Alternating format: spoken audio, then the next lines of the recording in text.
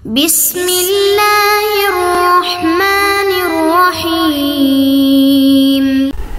بسم اللہ الرحمن الرحیم الحمد للہ رب العالمین والصلاة والسلام علی رسولہ محمد والہ و اصحابہ اجمعین اما بعد درس نمبر سینتالیس آج کے سبق کا عنوان ہے خطب تنقی حصہ اٹھارہ اعجاز کی تعریف پر اعتراض پچھلے سبق میں اعجاز فی الکلام کی تعریف کی تھی۔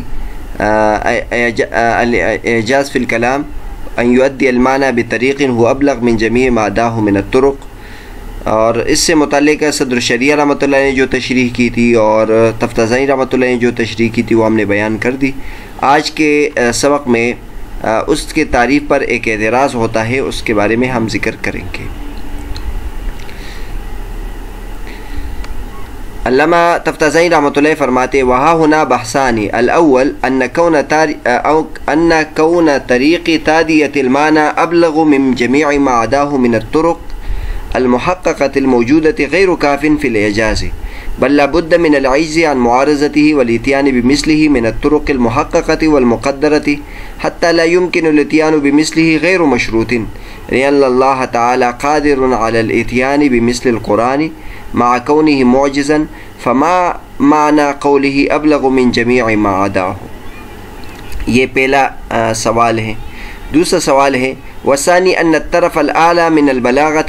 وما يقرب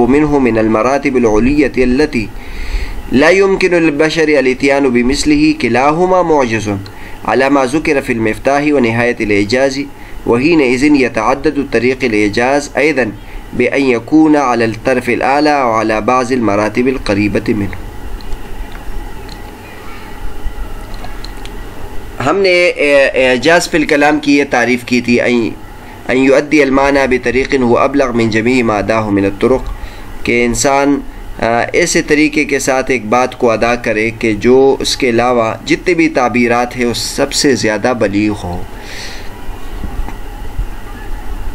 اور کتاب اللہ کے بارے میں ہم نے بتایا تھا کہ کتاب اللہ کلام موجز ہے، اس لیے کہ اس کے جتنے بھی تعبیرات ہیں، وہ سب طرف اعلیٰ پر ہے اور جو طرف اعلیٰ پر ہوتا ہے، اس میں تعدد نہیں ہوتا۔ اس کو آپ اس معنی میں سمجھے کہ ہم کسی کے بارے میں کہیں کہ یہ سب سے بڑا عالم ہے۔ یا مثلا کسی طالب علم کے بارے میں کہے کہ وہ اپنے درجے میں سب سے زیادہ ذہین ہے۔ تو ظاہر ہے وہ ایک ہوگا، اگر اس کے ساتھ کوئی اور شریک ہو گیا، تو پھر تو اس کا تعدد، اس کا، اس کی وحدت ختم ہو جاتی ہے پھر ہم اس کے بارے میں نہیں کہہ سکتے کہ وہ سب سے زیادہ ذہین ہے یا کوئی عالم سب سے بڑا عالم ہے۔ تو حقیقی معنی پر اگر عمل کرنا ہے تو اس کا ضروری ہے کہ وہ اس کے مقابلے میں کوئی نہ ہو اور اس کے ساتھ بھی کوئی نہ ہو اور اس سے اوپر بھی کوئی نہ ہو۔ تو یہ اعجاز فی الکلام کی ہم نے یہی تعریف کی تھی۔ اور اس میں ہمارا مقصد بھی یہی تھا کہ اللہ تبارک و تعالیٰ کا جو کلام ہے وہ سب سے زیادہ بلیغ ہوتا ہے، اس سے اوپر کوئی نہیں ہوتا اور اس میں تعدد بھی نہیں ہوتا۔ تو یہاں معترض اعتراض کرتا ہے۔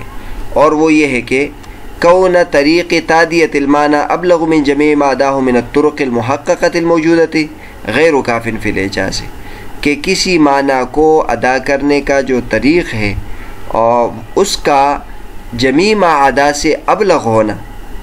چاہے وہ طرق محققہ ہو موجودہ، صرف طرق محققہ موجودہ سے ابلغ ہونا یہ اعجاز میں کافی نہیں ہے، بلکہ ضروری ہے کہ اس کو اس میں عجز ہو اس کے مقابلے سے اور اس جیسا کلام ذکر کرنے سے عجز ہو، چاہے طرق محققہ ہو یا طرق مقدرہ ہو۔ یہاں تک کہ بندے کے لیے اس جیسا کلام لانا ممکن نہ ہو۔ اور وہ کسی کے ساتھ مشروط نہ ہو کیونکہ اللہ تبارک و تعالیٰ قادر ہے قرآن مجید کے مثل ذکر کرنے پر، حالانکہ یہ کتاب اللہ موجز ہے۔ تو پھر مصنف کا قول ابلغ من جمی ادا ہو کا کیا مطلب ہے؟ معترض یہ اعتراض کرتا ہے کہ آپ نے اعجاز فی الکلام کی یہ تعریف کی کہ وہ تمام ما عدا سے ابلغ ہو۔ تو یہاں وہ سائل اعتراض کرتا ہے کہ آپ کا تمام معادہ سے ابلغ ہونے کا کیا مطلب ہے؟ وہ طرق محققہ سے بھی ابلغ ہو اور طرق مقدرہ سے بھی ابلغ ہو۔ طرق محققہ کا مطلب یہ ہے کہ اب تک کوئی بھی انسان اس جیسا کلام ذکر نہیں کر سکا۔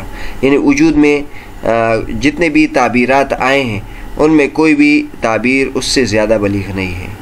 لیکن طرق مقدرہ بھی تو ہو سکتے ہیں۔ اب تو انسانوں کا سلسلہ بند نہیں ہوا، آئندہ بہت سارے لوگ آئیں گے۔ تو طرق محققہ یعنی آئندہ کے لیے کوئی اس جیسا کلام ذکر نہیں کر سکتا۔ تو معترض اعتراض کرتا ہے کہ آپ کا طرق محققہ صرف مراد ہے یا طرق مقدرہ بھی مراد ہے۔ اور ظاہر ہے، طرق محققہ مراد لینا یہ کافی نہیں ہے۔ کیونکہ جب اعجاز ہے تو اعجاز کا مطلب یہی ہے کہ وہ تمام معادہ سے، چاہے وہ طرق محققہ ہو یا مقدر ہے اس سے عاجز ہونا مراد ہے۔ تو لازماً یہاں آپ طرق محققہ بھی مراد لیں گے، طرق مقدرہ بھی مراد لیں گے کہ آئندہ بھی کوئی اس جیسا کلام نہیں ذکر کر سکتا۔ لیکن اب اگر ہم یہ مراد لیں کہ طرق محققہ اور طرق مقدرہ دونوں مراد ہیں، تو پھر تو یہ معترض اب اعتراض کرتا ہے کہ اللہ تبارک و تعالیٰ تو اس پر قادر ہے کہ اس جیسا کلام اور ذکر کرے۔ یعنی ہم نے انسانوں کے لیے تو یہ مان لیا کہ انسان اس کا مقابلہ نہیں کر سکتے اور آئندہ کے لیے بھی نہیں نہیں کر سکیں گے۔ لیکن اللہ تبارک و تعالیٰ تو اس پر قادر ہے۔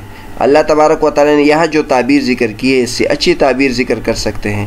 اور اللہ تبارک و تعالیٰ کو تو کوئی عاجز نہیں قرار دے سکتے۔ تو جب اللہ تبارک و تعالیٰ اس جیسا کلام ذکر کر سکتے ہیں تو پھر آپ کے یہ اس کہنے کا کیا مطلب ہے کہ ابلغ من جمیع معدہ ہو ہے؟ وہ تمام معدہ سے ابلغ ہے۔ لہٰذا یہ معترض کا اعتراض ہے۔ اس کا اعتراض انشاءاللہ آئندہ اس کا جواب دیں گے۔ اور اس کے ساتھ دوسرا اعتراض بھی ذکر کیا ہے اور دونوں کا جواب اکٹھے آگے علامہ تفتض رحمۃ اللہ نے دیا ہے۔ دوسرا اعتراض یہ ہے کہ آپ یہ کہتے ہیں کہ بلاغت صرف ایک طریق کے ساتھ ہوتا ہے اور اس کا ایک ہی یعنی اس میں تعدد نہیں ہوتا، اس سے پہلے ہم نے یہ بحث کی تھی کہ کہ مصنف نے اعجاز کے لیے عروہ مفرد کا ذکر کیا اور سحر کے لیے اہداب جمع کا ذکر کیا، کیونکہ اعجاز مفرد ہوتا ہے، وہ اکیلے ہوتا ہے، اس میں تعدد نہیں ہوتا اور سحر کے کئی وجوہات ہو سکتی ہے کئی طریقے ہو سکتے ہیں۔ تو اس پر مدرے سے اعتراض کرتا ہے کہ اس میں بھی تعدد ہو سکتا ہے، کیونکہ بلاغت کے کئی درجات ہو سکتے ہیں بلاغت کے کئی مراتب ہو سکتے ہیں۔ بلاغت کا طرف اعلیٰ اور اس سے قریب والا جو مرتبہ ہے، جو بلند مراتب میں ہے، اور اگرچہ وہ ایسے ہوں گے کہ بشر کے لیے اس جیسا ذکر کرنا ناممکن نہیں ہوگا، لیکن بہرحال دونوں پر موجز کا تو اطلاق ہو سکتا ہے۔ اور یہ بات مفتاح مفتاح العلوم اور نہایت الاجاز میں اس کو ذکر کیا ہے۔ علامہ سکاکی رحمۃ اللہ کی کتاب المفتاح اور اس طرح علامہ زمخش رحمۃ اللہ کی کتاب نہایت الاجاز ان دو، ان میں ان باتوں کو تسلیم کیا ہے کہ بلاغت کے کئی اطراف کئی درجات ہو سکتے ہیں۔ یعنی جو جو کلام بلیغ ہو، جو کلام معجز ہو وہ سب ایک درجے کے نہیں ہوتے ان میں سے بعض کلام انتہائی بلیغ ہوتا ہے، بعض اس کے در قریب والا ہوتا ہے۔ اگرچہ سب پر موجز کا اطلاق ہوتا ہے، لیکن بہرحال آپس میں نسبت کرتے ہوئے اس کے درجات ہوتے ہیں۔ اور جب یہ ہم مان لیں تو اعجاز کے طریقے تو متعدد ہوئے کہ بعض طرف اعلیٰ پر ہیں اور بعض اس کے جو قریب ہے اس مراتب میں سے ہیں۔ اور یہ واقعی ہم اگر دیکھ لیں علماء کرام نے بیس کی ہے کہ قرآن مجید اگرچہ سب کے سب معجز ہے اور سب کے سب یعنی بلیغ ہے لیکن قرآن مجید کے اندر بعض آیات اور بعض آیتیں اور بعض صورتیں اور بعض حصے ایسے ہیں جو دیگر آیتوں سے زیادہ بلیغ ہے اور اس کے بارے میں باقاعدہ بحث بھی ہو چکی ہے کہ وہ کون سی آیت ہے جو بہت زیادہ بلیغ ہے۔ چنانچہ بعض حضرات کہتے ہیں کہ وہ قیل یا اردبلا ماء کی ویا سماء عقلی وغید الماء وقضی الامر وسطوت علی الجدی وقیل بعد للقوم الظالمین۔ یہ جو نوح علیہ السلام کے عذاب کا، طوفان کا جو منظر ہے، اس کے بارے میں اللہ تبارک و نے جو تعبیرات بیان کی ہے یہ سب سے زیادہ بلیغ ہے۔ اور علامہ زمخشری رحمۃ اللہ علیہ نے صرف اس آیت کے بلاغت کے بارے میں زمخشری نہیں، بلکہ ابن الاسیر الجزری۔ انہوں نے صرف اس کے بلاغت کے بارے میں کتاب لکھی ہے کہ اس میں جو بلاغت کے باتیں ہیں، وہ کس قدر زیادہ ہے اور اس میں کس قدر باریک باتوں باتوں کو اللہ تبارک و تعالیٰ نے خیال رکھا ہے۔ اور بعض کہتے تبت یدا ابی لہب و تب۔ یہ جو صورت ہے، اس میں انتہائی بلاغت ہے۔ تو بہرحال قرآن مجید اگرچہ تمام بلیغ ہے، تمام موجز ہے لیکن اس کے بعض جو حصے ہیں، وہ بلاغت میں بعض سے اعلیٰ ہے اسی وجہ سے فارسی کا ایک شعر شاعر ہے، وہ یہ کہتا ہے، در بیاں و در فصاحت کے بودی اقسا سخن گرچہ گویندا بود چو جاہز و چو اسمائی در کلام ایزد بھی چو کہ وہی منزلت، کے بوت تبت یدا مانند یا اردبلائی شاعر کہتا ہے کہ در کلام و در فصاحت کے بود یکساں سخن۔ باتوں میں اور کلام میں فصاحت اور بلاغت یکساں نہیں ہوتا، بلکہ اس میں فرق ہوتا ہے۔ گرچہ گوئی انداب و چو جاہز و چو اسمئی اگرچہ اس کے جو بولنے والے ہوتے ہیں، اگرچہ اسمئی اور جائز کی طرح فصیح اور بلیغ کیوں نہ ہو؟ یعنی ان جیسے ان جیسے بلیغ و علماء کرام کا کلام بھی یکساں نہیں ہوتا۔ بعض جملے اس میں زیادہ بلیغ ہوتے بعض اس میں قریب ہوتے ہیں، بعض ادنا ہوتے ہیں۔ اگرچہ سب بلاغت کی تعریف اس پہ صادق آتی ہے، لیکن سب کا ایک مرتبہ نہیں ہوتا۔ اور پھر وہ شاعر کہتا ہے کہ اللہ تبارک و تعالیٰ کے کلام میں بھی اگر ہم دیکھ لیں، اگرچہ وہ وہی ہے لیکن کہاں تبت یا، یدا ابی لہب و تب اور کہاں قیل یا اردب ماک یعنی تبت یدا ابی لہب و تب یا اردب ماک کے مقام کو نہیں پہنچ سکتا۔ تو بہرحال معترض نے دو اعتراض کیے۔ پہلے اعتراض میں انہوں نے یہ ثابت کرنے کی کوشش کی کہ آپ نے کہا تھا کہ اعجاز اس کو کہتے کہ وہ تمام معادہ سے ابلغ ہو۔ تو تمام معادہ سے ابلغ نہیں ہو سکتا کیونکہ اللہ تبارک و تعالیٰ تو اس پر قادر ہے کہ اللہ تبارک و تعالیٰ اس سے بھی اعلیٰ کلام ذکر کرے۔ اور اگر آپ یہ کہتے کہ اللہ تبارک و تعالیٰ اس یہ نہیں کر سکتے تو پھر تو اللہ تبارک و تعالیٰ کو عاجز کرنا لازم آئے گا۔ دوسری اعتراض میں وہ یہ کہتا ہے کہ آپ نے کہا کہ بلاغت میں تعدد نہیں ہوتا، حالانکہ بلاغت میں خود کتابوں میں لکھا ہے کہ اس میں تعدد ہوتا ہے، اس لیے کہ تمام بلیغ کلام یکساں نہیں ہوتا، اس میں درجات ہوتے ہیں۔ لیکن بہرحال یہ اعتراضات ہیں اور اس اعتراض کے بعد علامہ تفتین مدرس کا جواب دیں گے۔ اور اس کتاب میں یعنی توضیع طلوی میں اعتراضات اور جوابات بہت ہوتے ہیں۔ اور یہ پہلے بھی بیان کیا تھا کہ اعتراض اور سے بات اور واضح ہو جاتی ہے۔ اس لیے اور اعتراض سے سامنے والا اس وہ شوق میں بھی ہو جاتا ہے۔ اس لیے یہ طریقہ سمجھانے کے لیے مفید ہوتا ہے۔ تو اس کا جواب یہ ہے، والجواب عن الاول ان الاعجاز ليس الا في كلام الله تعالى۔ ومعنى كونه ابلغ من جميع ما عداه انه ابلغ من كل ما هو غير كلام الله تعالى محققا ومقدرا۔ حتى لا يمكن الاتيان لغير بمثله۔ پہلے کا جواب یہ ہے کہ اعجاز یہاں مراد نہیں ہے، مگر اللہ تبارک اللہ تبارک و تعالیٰ کے کلام میں مراد ہے اور اس کا ابلغ من جمی مادہ من ترق ہونے کا مطلب یہ ہے کہ ابلغ اللہ تبارک و تعالیٰ کے علاوہ کے کلام، غیر اللہ کے کلام کے تمام سے ابلغ ہو، چاہے وہ محقق ہو یا مقدر ہو یہاں تک کہ غیر کے لیے اس جیسا کلام ذکر لانا ناممکن ہو۔ جواب یہ ہے، اوپر بتایا تھا معترض نے، یہ اعتراض کیا تھا کہ آپ کا اعجاز سے جمیمہ اداہوں سے ترک محقق کا مراد ہے یا ترک مقدر مراد ہے۔ ظاہر ہے، قیامت تک کے لیے یہ اللہ تبارک و تعالیٰ کی طرف سے چیلنج ہے۔ صرف عرب کے لیے تو نہیں، قیامت تک کے تمام لوگوں کے لیے، چاہے ترک محققہ ہو یا مقدرہ ہو، سب مراد ہے۔ تو اگر سب مراد ہے، تو اللہ تبارک و تعالیٰ تو آئندہ اس پر قادر ہے۔ تو اس تو لہٰذا تمام سے یہ اعلیٰ نہیں ہوا۔ تو اس کا جواب یہ دیا ہے کہ ہم نے جو اعجاز فی الکلام میں یہ کہا تھا کہ وہ تمام معادہ سے ہو، تو وہ تمام معادہ سے بندوں کے کلام میں مراد ہے۔ اللہ تبارک و تعالیٰ کے کلام مراد نہیں، اللہ تبارک و تعالیٰ تو ہر وقت اس پر قادر ہے کہ وہ اس جیسا کلام، اس سے زیادہ فصیح کلام ذکر کرے۔ تو بندوں کے کلام میں تمام اللہ تبارک و تعالیٰ کے علاوہ جتنے بھی بندے ہیں ان چاہے وہ طرق محقق ہو، چاہے مقدر ہو۔ ابھی جو زندہ ہے یا آئندہ کے لیے جو آئیں گے، ان سب میں مراد ہے کہ وہ سب اس کا مقابلہ نہیں کر سکتے ہیں۔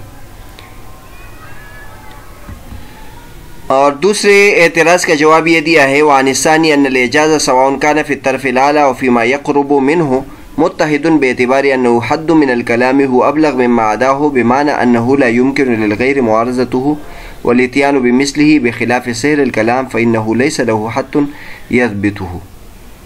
دوسرا اعتراض معترض نے یہ کیا تھا کہ آپ نے کہا تھا کہ اعجاز فی الکلام میں تعدد نہیں ہوتا اور وہ صرف ایک ہوتا ہے جو سب سے زیادہ بلیغ ہوتا ہے۔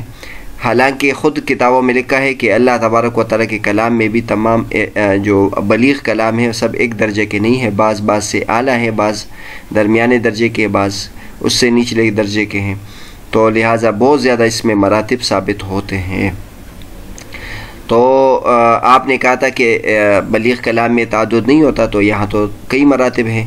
تو اس کا جواب یہ دیا ہے کہ اگرچہ یہ اس میں طرف اعلیٰ اور اس کے قریب ہے، لیکن اس اعتبار سے متحد ہے کہ وہ سب پر یہ تعریف صادق آتی ہے کہ وہ ابلغ میں مادہ ہو ہیں۔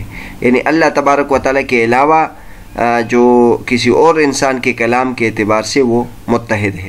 یعنی چاہے قیل یا اور دبل ایما، یہ آیت ہو، یہ بھی انسان اس جیسا کلام ذکر نہیں کر سکتا۔